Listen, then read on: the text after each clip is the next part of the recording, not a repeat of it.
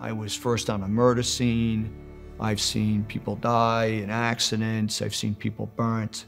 My days were filled with just crisis, one, one after another. If we're standing next to somebody who meets the criteria to be transported to a hospital for a mental health evaluation because they're a threat to themselves, threat to others, gravely endangered, we are quick, rightfully so, to get them the help they need, to get that evaluation. But we can have an officer standing right next to us who meets that same criteria and not do anything about it, not want to start that conversation.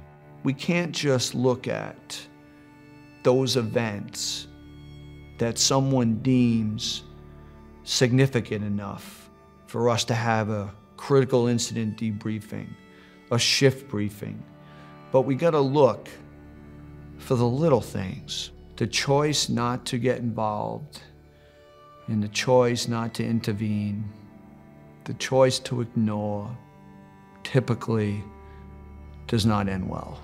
Two people can go to the same call and perceive it completely differently.